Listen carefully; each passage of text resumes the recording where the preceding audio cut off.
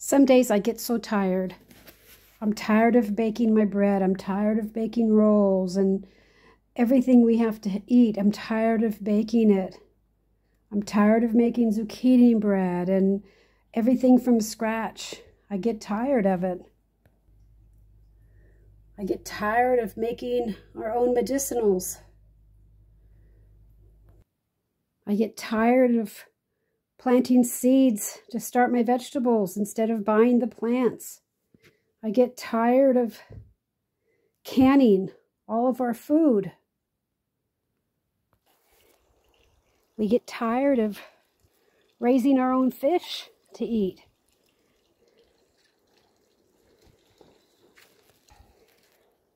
We get tired of being tied down to our homestead because we have plants to water, we have animals to feed.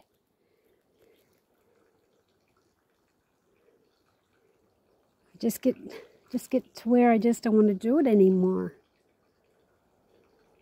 Get tired of putting the clothes out on the line to dry, to try and save money. We get tired of making food for our animals instead of buying it at the feed store. When we have eight feet of snow, we dread having to get out here to the animals.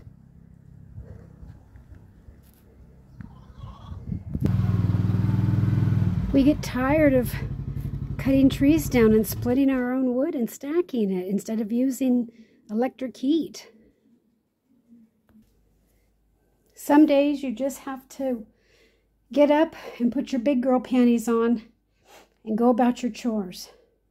We've thought of, we even thought about moving. It's 55 miles round trip to the closest town for us. It's a lot of gas. So we try to only go into town once once a week.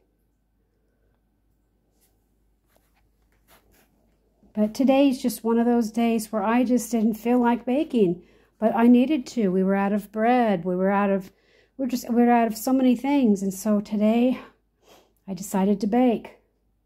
I also planted a bunch of my vegetable starts and you get tired every single day when you're a homesteader. It's not easy. But honestly, if I had to live in the city, if I had to have a neighbor, I would not be pretty. Everybody sees pictures on Instagram of how pretty everything is on a homesteader's farm, how good the food looks, how the rolls turn out.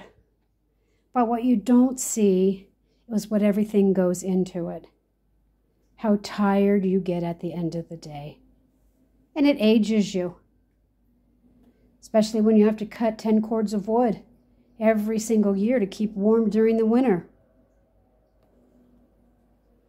But you just fight through it and you just have to make yourself do it. Because what's the alternative? Processed food with a bunch of crap in it? Not homeschooling your kids? Putting your clothes in the dryer because it's easier. Well, I don't know about you, but I can't afford to waste money. I fooled myself today. I went to our little store in our town because I was out of everything for lunch meat. I had forgot about making my lunch meat. When we make our lunch meat, we usually stew up a couple chickens, and that chicken becomes our meat, our sandwich meat. So today I went up to our little store. I looked at roast beef. It was $18.99 a pound. $18.99 a pound. Turkey was $16.99 a pound.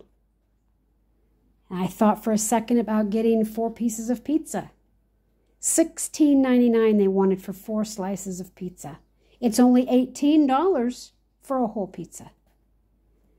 So I came home, made lunch meat, made bread, and we ate here for free. Homesteading is very hard, guys. It's nothing to take lightly about it, especially when you have children, little ones under your feet, which we don't. I've learned to make a half a loaf of bread.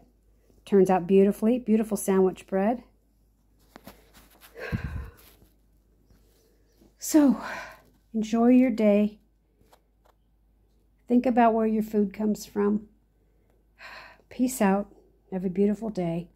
Watch your surroundings, guys. This, there's some crazy crap going on.